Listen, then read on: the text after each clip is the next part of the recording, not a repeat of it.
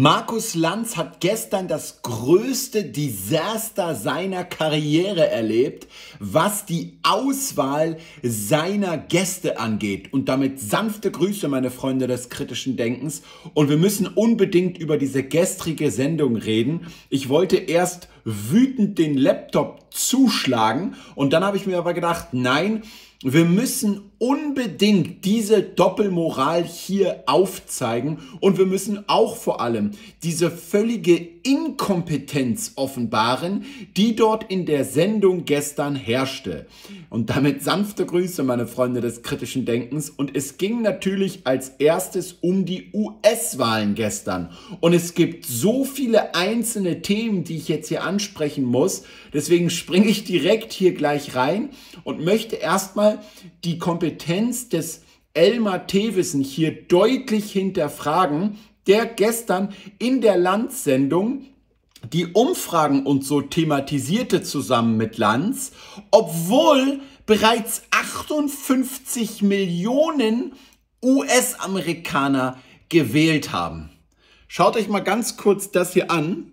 Es ist wirklich der absolute Wahnsinn mal genauer hinguckt, da geht es ja in erster Linie dann um die Swing States, da wo mhm. es so mega knapp ist. Und da ist tatsächlich so, dass in den sieben Swing States eigentlich die beiden gleich aufliegen. Also es liegt im Bereich der Fehlerquote. Mhm. Und deswegen kann keiner sagen, wie es nächste Woche ausgeht. Gerade hat CNN eine neue Umfrage veröffentlicht. Das sieht erstmal deutlicher aus. In den Swing States Michigan, Wisconsin mhm. läge sie um, ich glaube, es waren sechs Prozentpunkte vorne. Allerdings muss man auch wieder dann schauen, es sind nur 700 Leute, 700 bis 800 Leute befragt worden und die Fehlerquote liegt bei 5 Prozent. Also diese Umfragen, die erzeugen ein schräges Bild und keiner weiß wirklich, in welche Richtung das nächste Woche tendiert. Also, da sagt er es ja sogar selber. Diese Umfragen aktuell erzeugen ein schräges Bild. Dann erwähnt er CNS. NBC oder CNN mit einer weiteren Umfrage. Sag mal, weiß der Typ, der hier bei Markus Lanz auch regelmäßig als Profi tatsächlich, Zitat, ja, vorgestellt und bezeichnet ne, wird, dass bereits 58 Millionen US-Amerikaner tatsächlich gewählt haben. Und diese Nachrichten sind doch auch schon online hier bei NBC News beispielsweise. Da kann man sich überall die Ergebnisse aktuell anschauen. Und zwar aus den Briefwahlen und eben den Early In-Person Votes, also in Amerika. Amerika können ja in einigen Staaten die Menschen schon ins Wahllokal gehen und dort wählen, also physisch auftauchen und wählen und eben auch Mail-In. Und da sehen wir doch die Ergebnisse schon. Aktuell sieht es so aus. Hier, ne, ihr seht 41% registrierte Demokraten, 40% registrierte Republikaner und 19% Independents, ja, haben hier gewählt von 58 Millionen 390.685. Wenn wir uns das Ganze nochmal in den Swing States anschauen, also in den Staaten, die sehr stark umkämpft sind, dann sehen wir aktuell liegt hier Trump in vier vorne und Harris in drei. Also einmal in Arizona, in Nevada liegt Trump vorne, in North Carolina, in äh, Georgia liegt Trump vorne, in Wisconsin, Michigan und Pennsylvania liegt Harris vorne. Was jetzt die Beurteilung dieser Wahlen und so weiter angeht, ist es so, dass es aktuell erstaunlich gut für die Republikaner und für Trump aussieht, wenn man das mit 2020 vergleicht, weil eben Trump in der Vergangenheit immer wieder seine Wähler ermuntert hat und ermahnt hat, sie sollten unbedingt am Election Day physisch selbst eben in die Wahllokale gehen, wohingegen die Demokraten sehr häufig eben auch aggressiv dafür geworben haben, vorzeitig auch die äh, Möglichkeit zu nutzen, eben zu wählen. Und von daher, wenn man jetzt zum Beispiel das auf die heutige äh, Zeit projiziert, könnte man annehmen, dass das schon ein ziemlich gutes Ergebnis bisher für die Republikaner ist. Wenn ihr mal eine richtig kompetente Wahlanalyse sehen wollt, dann geht wirklich zu den eigentlichen Experten, wie hier von Race Report beispielsweise, die um ein zehnfaches detaillierter da reingehen, als man es hier beim ZDF tut. Und jetzt müssen wir direkt beim nächsten Punkt hier einsteigen, und zwar beim Thema Wahlkampf. Auch hier, da geht es um eine Szene, wo eben Kamala Harris zusammen mit einer anderen Dame Bier trinkt und darüber spricht, dass sie mehr bei männlichen Wählergruppen punkten müssen. Und schaut mal, wie es Elmar Thewissen schafft, in einem einzigen Satz erst zu sagen, das wirkt unglaublich natürlich und authentisch und gleichzeitig sagt, es ist aber alles inszeniert. Das kannst du dir wirklich nicht mehr ausdenken. Wie auch immer, es ist schön, Sie zu sehen. Wie, wie, ist das angekommen im Land? Ich meine, erstens eine, eine sehr ehrliche, weil unbedachte Analyse äh, und zweitens dann ganz offen einfach mal Scheiße zu sagen. Wie funktioniert das in Amerika? Hm, das funktioniert gut, weil Donald Trump die Standards gesenkt hat. Aber äh, am Ende sieht man hier ja auch mal sie in einer ganz natürlichen Situation. Sie wirkt authentisch und ehrlicherweise, ich glaube eigentlich keine Sekunde daran, dass das nicht auch ein Stück weit Absicht war. Ach so, also es wirkt unglaublich natürlich und authentisch, aber gleichzeitig glaubt er, dass das Ganze inszeniert war und Absicht war. Hm, sehr interessant, Herr Thewesen. Ähm, weil man eben äh, den Finger auf das Problem legen kann. Und das ist ja sowas von in den Zeitungen und überall in den Medien gewesen. Jeder weiß es eigentlich. Übrigens auch das mit dem McDonalds-Auftritt war total inszeniert. Das Ding hatte geschlossen, oh äh, die McDonalds-Filiale. Äh, und dann saß, stand Donald Trump da. Und jeder, der ans Fenster fuhr, der war vorher vom Secret Service handverlesen. Der bekam auch kostenlos das Essen da. Also komplett. Es ist wirklich so peinlich, was der hier sagt sagt, als ob irgendjemand auch nur ansatzweise jemals gedacht hätte, dass es eben nicht inszeniert wäre bei Donald Trump, der bei McDonald's war. Ich meine, man muss sich mal vorstellen, auf diesen Präsidenten wurde jetzt zweimal, einmal aktiv wurde geschossen ja, das halbe Ohr wurde ihm hier abgetrennt dabei. Und dann gab es einen weiteren Attentatsversuch. Da ist es doch völlig klar, dass er im Wahlkampf nicht einfach so in einen McDonalds reinläuft, wo ganz normal die Leute gerade ihr Essen kaufen und dann an die Autos das Essen ranliefert. Es ist doch völlig logisch, dass der Secret Service das vorher prüft und so. Und das wirkt dann laut Tevesen alles ganz äh, inszeniert im Wahlkampf. Aber klar, Harris wirkt ganz natürlich und authentisch, wahrscheinlich auch mit diesem Anruf, den sie dann von äh, Obama bekommen hat, dass er sie jetzt endorst. Das war ja auch alles ganz natürlich und authentisch, wenn wir wahrscheinlich Tevesen fragen.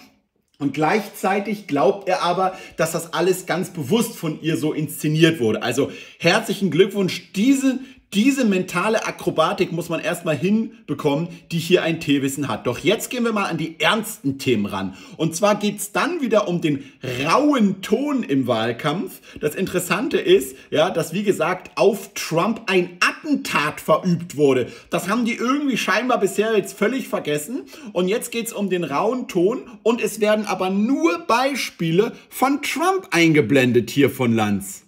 Vielleicht schauen wir mal ganz kurz rein. Ein kleiner Auszug an Beleidigungen der letzten Tage und Wochen. Ich habe das Recht, Sie persönlich anzugreifen. Ich habe nicht viel Respekt vor ihr und äh, ihrer Intelligenz. Sie wäre eine furchtbare Präsidentin. Wir können dich nicht ausstehen. Du bist eine beschissene Vizepräsidentin, die schlimmste. Joe Biden war mit der Zeit geistig beeinträchtigt, was traurig ist. Aber Kamala Harris, ehrlicherweise glaube ich, sie wurde so geboren. Sie ist für das Amt ungeeignet, jeder weiß es. Niemand respektiert sie, niemand vertraut So, jetzt spule ich mal ein bisschen vor. Kommt sowas an in der amerikanischen... Siehst du? Also man bringt nur die Beispiele von Trump, aber nicht ein einziges von der Gegenseite. Und jetzt müssen wir das natürlich als vierte Gewalt wieder tun. Hier, Schaut euch zum Beispiel mal an, was vor einigen Tagen Joe Biden über Trump-Supporter gesagt hat. Puerto Rico, where I'm in my home state of Delaware, they're good, decent, honorable people. The only garbage I see floating out there is his supporters. His, his, his demonization of things is unconscionable. Also, den einzigen Müll, den ich hier herumfließen sehe, sind sozusagen die Supporter von Donald Trump. Da hat einfach Biden die Trump-Wähler als Müll bezeichnet. Und wir haben es live auf Video. Da braucht man das auch nicht in der Presse hier wieder versuchen, falsch darzustellen. Ja, so peinlich. Und Trump hat das natürlich direkt wieder genutzt und hat einfach hier sich von einem Garbage Truck abholen äh, lassen und hat sogar dann eine ganze Wahlkampfrede hier in so einer Warnweste ähm, gehalten. Und jetzt müssen wir mal aber wirklich einen Zusammenschnitt uns anschauen. Ne? Ihr werdet das in, weder beim Spiegel, weder beim ZDF, erst recht nicht bei Herr Thewissen und Lanz, auch nicht in der ARD werdet ihr diese ganzen Sachen und so weiter sehen, weil vor dem Attentatversuch auf Trump, ne, hat sogar Joe Biden damals gesagt, we have to put Trump in the bullseye. Ja? So, und jetzt schaut euch mal einfach einen kleinen Zusammenschnitt an von Sachen, die damals von den lupenreinen Demokraten hier gegenüber Trump und seinen Wählern immer und immer wieder geäußert wurden. Haltet euch fest. You gotta be ready to throw a punch. You have to be ready to throw a punch. Donald Trump, I think you need to go back and, and punch him in the face. That I thought he should have punched him in the face. feel like punching him. I'd like to take him behind the gym if I were in high school. If we were in high school, I'd take him behind the gym and beat the hell out of him. No, I wish we were in high school. Also, ne, Joe Biden, ja. Er würde ihn am gern, am liebsten hinter die, hinter das Gym, also hinter die Turnhalle nehmen und beat the hell out of him. Also ihn komplett zusammenschlagen. Das ist die Rhetorik eines Joe Biden. I'd like to take him behind the gym. I will go and take Trump out tonight. Take him out now. Take him out. Last time an actor assassinated a president. They're still going to have to go out and put a bullet in Donald Trump. Show me where it said They have to put a bullet in Trump. The protests are supposed to be polite and peaceful.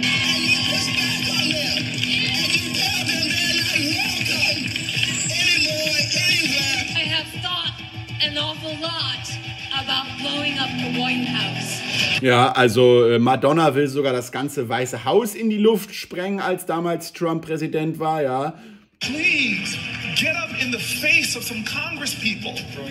People will do what they do. I want to tell you, Gorsuch, I want to tell you, Kavanaugh, you have released the whirlwind and you will pay the price. We're gonna go in there, we're gonna. This is just a warning to you Trumpers. Be careful. Walk lightly. And for those of you who are soldiers, make them pay. If you had to be stuck in an elevator with either President Trump, Mike Pence, or Jeff Sessions, who would it be? Does one of us have to come out alive? Tja, und dann zum Abschluss nochmal Kamala Harris, ne? All funny jokes, ne? Und ja, wenn sie das sagt, dann ist das natürlich alles in Ordnung und alles top. Und wenn die ganzen Democrats sagen, ja, wir wollen ihn hinter, äh, hinter die Ecke bringen, da hinter das Gym und ihn zusammenschlagen oder ihn einen Bullet sozusagen äh, verabreichen und so. Und dann wird tatsächlich ein Attentat auf ihn verübt, ja? Dann ist das alles ein paar Monate später irgendwie nicht mehr so wirklich äh, Thema. Ja? Stattdessen konzentriert man sich wieder die ganze Zeit auf irgendwie Trump und was er alles so Böses gemacht hat und dass er die Demokratie in Gefahr bringt und dass er ja angeblich Hitler sei und so weiter. Ja? Und komischerweise auf diesen Widerspruch dann auch, dass, wie kann es denn sein, dass Trump gerade, wenn er irgendwie mit Hitler verglichen wird, so viele Unterstützer hat, bei Hispanic-Wählern, bei schwarzen Wählern, bei jüdischen Wählern und so weiter. Da gibt es jetzt übrigens auch schon eine ganz neue Theorie bei den öffentlich-rechtlichen. Hört euch mal diese Theorie jetzt an. Vor allem an den kulturellen und an den gesellschaftlichen Wurzeln dieser Gruppen. Wir sprechen über Latinos, über Schwarze, über Indigene und über arabische Communities. Und das sind welche, in denen eben traditionell der Mann das Sagen hat. Und es scheint so zu sein, dass jetzt viele Männer eben ein Problem damit haben, eine Frau ins höchste Amt zu wählen. Ah, genau, verstehe. Das ist jetzt auf einmal der Grund dafür. Lustig, wie sich das Narrativ auf einmal geändert hat. Also so peinlich. Also ich würde mal sagen, dieses, dieses Statement, was die da gerade abgegeben hat, das würde ich mal sagen, einfach so komplette Bevölkerungsgruppen so äh, darzustellen nach dem Motto, da ist ja ein männlich geprägtes Bild und so weiter. Das ist der Anf Anfang von Rassismus hier an dieser Stelle. Und jetzt gehen wir aber noch weiter, Leute. Es wird nämlich noch besser, weil dann geht es nämlich auch noch ein bisschen um das Thema Deep State und Enemies Within und so. Hier wird ja immer gesagt, das sind ja alles bloß Verschwörungstheorien, auch wenn Trump das anspricht. Da geht Markus Lanz auch noch mal ganz kurz drauf ein. Und da hat auch ein Lanz in seinem ganzen Leben noch nie mal wirklich recherchiert. Ich bezweifle, ich meine, Lanz hat damals noch nicht mal gewusst, dass es ein Parteiprogramm von der AfD gibt. Ja, als er mit Lanz den, äh, mit Precht den Podcast gemacht hat, ja. Also hier muss man wirklich sagen, auch Lanz ist wirklich, obwohl es ja immer heißt, auf, mit dem zweiten sieht man besser, leider sieht man eben auch mit dem anderen wahrscheinlich komplett blind, jedenfalls politisch, weil hier hat Lanz noch nie recherchiert. Ich wette, er kennt auch die Twitter-Files und all das, was dort rausgekommen ist, überhaupt nicht. Schaut mal, was er hier kurz sagt zum Thema Deep State unterfüttert, wenn man so will. Ich weiß, dass es in Amerika seit Tagen eine sehr intensive Debatte gibt über einen Satz von Trump, der so fast beiläufig gefallen ist, wo er über the enemy from within nachdenkt, den Feind aus dem Inneren. Und ich glaube, wir haben die, eine dieser Passagen, er hat das mehrfach gesagt, auch vorliegen. Wir schauen einmal kurz rein. Also, Feind von Within, ne? Deep State, das gibt's nicht erst seit ein paar Tagen, das gibt's schon seit Jahren, diesen Vorwurf, ne? Spätestens Seitdem wir wissen, dass die zweite Amtszeit von George W. Bush nicht Bush der eigentliche Präsident war, also er war der Präsident am Papier, aber der eigentliche Mächtige war Dick Cheney, der Vizepräsident und all seine ganzen Hintermänner, Halliburton und so weiter, ja, spätestens seitdem sollte man vielleicht mal so ein bisschen überlegen, ob man nicht auch mal anfängt zu recherchieren und guckt, ist da vielleicht wirklich etwas dran, statt einfach nur den Kopf so im Sand zu halten und immer zu sagen, oh nee, nee, nee, da ist nichts, da ist nichts, ich sehe nichts, ich sehe nichts ja. Aber konzentrieren wir uns doch jetzt mal ganz kurz auf die letzte US-Wahl und so.